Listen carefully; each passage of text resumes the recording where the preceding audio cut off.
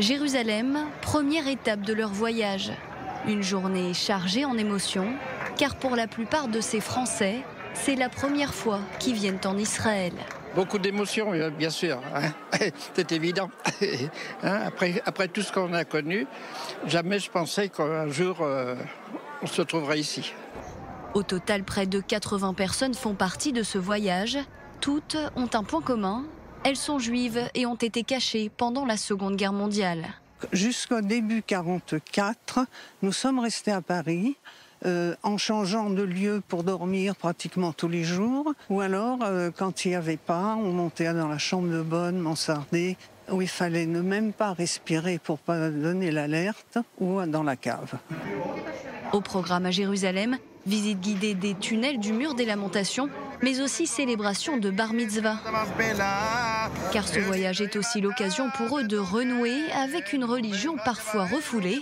C'est le cas de Jacques, qui après quelques années de retard, a pu célébrer sa bar mitzvah à Jérusalem devant le Kotel. C'est unique pour moi. C'est avant, avant de mourir, c'était ce que je souhaitais. Et ce que je souhaitais, c'était exaucer. Donc, il y a vraiment quelque chose qui est au-dessus de nous. J'espère que ma mère, qui n'est plus là, elle me voit quelque part et surtout qu'elle voit que je ne l'ai pas oublié. La preuve, c'est que j'ai fait graver son, son numéro d'internement à Auschwitz.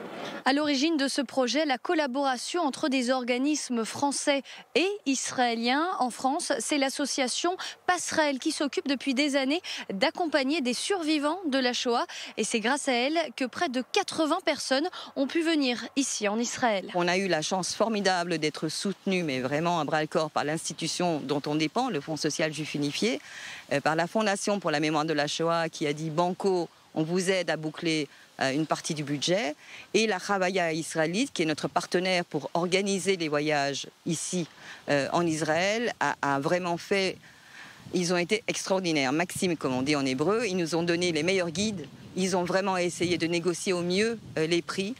ils ont été compréhensifs, empathiques et surtout, je crois, très émus euh, du projet qu'on avait, parce que c'est un peu fou d'amener 70 euh, euh, survivants de la Shoah à l'âge qu'ils ont en Israël.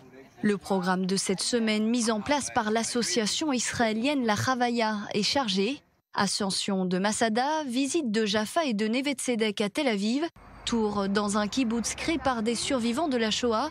Ces Français partent à la découverte d'un pays, mais aussi d'une culture. Passage oblige au mémorial Yad Vashem de la Shoah, une visite particulièrement émouvante et douloureuse pour ces enfants cachés pendant la Seconde Guerre mondiale.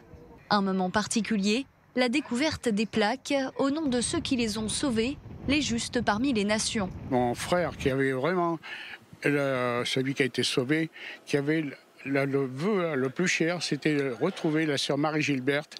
Et quand il a su que je venais en Israël, il, a, il avait donc fait des recherches, retrouvé les, traces de sœur Marie-Gilberte, et il m'a demandé d'être pris en photo et de lui retourner les documents, bien sûr, ce qui euh, c'est son vœu le plus cher. Ce voyage, ils ne l'oublieront jamais. Je ne m'attendais pas à ça du tout.